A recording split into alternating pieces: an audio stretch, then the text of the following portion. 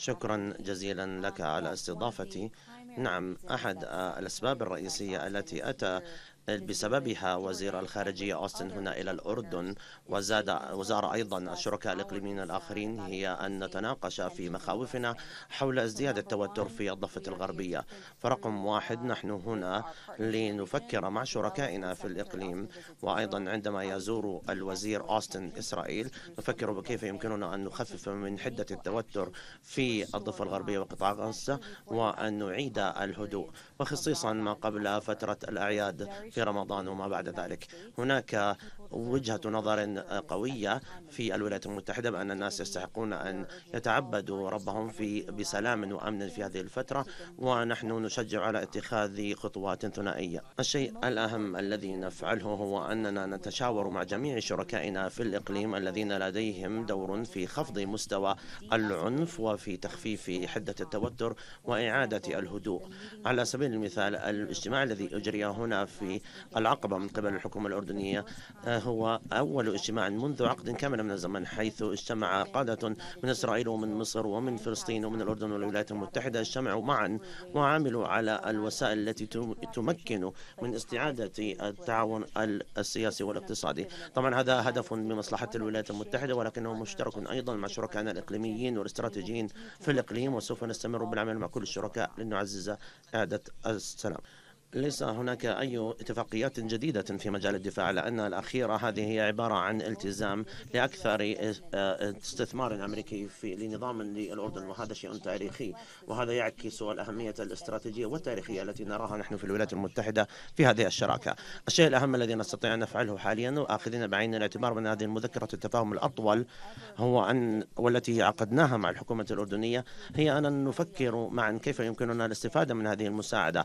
وهذا هذا الالتزام الاستراتيجي وذلك لنعزز من القدرات والاحترافية وتحديث القوات المسلحة الأردنية. ليس أن ذلك فقط مفيد للأردن والشعب الأردني بل العلاقة الاستراتيجية الثنائية وهو أيضا مفيد للإقليم كله. لأنه عندما يكون هناك قوات مسلحة أردنية محترفة مقاتلة تعمل مع الولايات المتحدة والشركاء الآخرين فنحن نعمل نحو الاستقرار معا في الشرق الأوسط. لقد سمعتم من العديد من المسؤولين في الإدارة الأمريكية في واشنطن. بما في ذلك الرئيس بايدن بحد ذاته وأيضا آه، آه، وزير الدفاع أوستن ووزير وزير الخارجية بلينكن هو أن لدينا الأولوية هو أن نضع القيود على أي تقدم نووي إيراني. في هذه اللحظة للأسف التفاوض للعودة إلى الاتفاقية النووية الإيرانية ليس شيئا مطروحا لأسباب هامة جدا. في الشرق الأوسط هنا يعرفون الخطر والتهديد الكبير الذي تقوم به إيران وأنشطتها المزعزعة للاستقرار وليس فقط برنامج برنامجها النووي بل دعمها للإرهاب وأيضا الحرب بالوكالة وأيضا هجومها في البحار ونقلها للطائرات المسيرة المهاجمة بالإضافة إلى هجماتها وتهديداتها السبرانية الجميع هنا في الشرق الأوسط يعرف بهذه التهديدات. ما هو مختلف اليوم هو أن إيران تنقل هذه الأسلحة والتهديدات إلى روسيا وروسيا تستخدمها لقتل المدنيين الأوكرانيين. لهذه الأسباب حتى التفاوض للعودة إلى الاتفاقية النووية الإيرانية ليس مطروحا الآن. الأيدي الدبلوماسية سوف تبقى مفتوحة عندما يريد النظام العودة إلى طاولة المفاوضات. أود أن أقدم تعازية للناس الذين عانوا وأولئك الذين فقدوا حياتهم سواء في تركيا أو في سوريا. ونحن سعدنا جدا بأن نرى بأن الحكومة الأردنية قد ساهمت بمعونات إنسانية بالإضافة إلى الولايات المتحدة والعديد من شركائنا من حول العالم لمواجهة هذه المأساة الشديدة. وسوف نستمر بتقديم المعونات الإنسانية ولكن أريد أن أوضح شيئا. هذا لن يغير من نهجنا نحو النزاع في سوريا. لن يكون هناك تطبيع للعلاقات العلاقات مع النظام السوري في هذه اللحظة من الزمن. نحن نعتقد بأن بشار الأسد ونظامه قد ارتكبوا مجازر كبيرة خلال الحرب الأهلية السورية. ليس ذلك فقط بل دعوا إيران للحضور إلى سوريا وليستخدموا الأراضي السورية لتهديد باقي الإقليم.